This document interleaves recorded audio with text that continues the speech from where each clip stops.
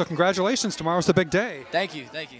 so how does it feel? What, you're 19, yeah, 19. Just nominated for the Grammy. yeah, first time, man. First first Grammy awards, first Grammy nomination. So it's cool. Just Dance. Just Dance, yeah, Lady Gaga. I got to shout out to her. I love her, man, because I, I feel honored to be a part of that track because she could have picked anybody to be on that record with her, and she chose me, which is a blessing for me. And uh, you know, it's just it, I feel honored, so it's great. And I guess you did okay by hooking up with this guy over here, Akon, huh? Yeah, I did pretty good. I did good. You know, uh, what you got? Top 10 record for me. I'm on his uh, his album Freedom, uh, beautiful. Uh, you know, my next single Let You Go is dropping this month, so everything's been pretty blessed, and I'll just just keep working and just keep grinding as much as possible. Well, you're still young, but you started at such a young age. At, Yeah, yeah. I started when I was nine, actually. I got signed to Full Force back in the day.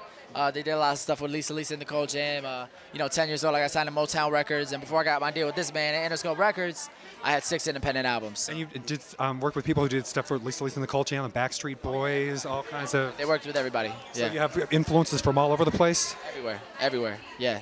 Well, best of luck tomorrow. Thank you. Thank you so much. Take care. man. Pleasure.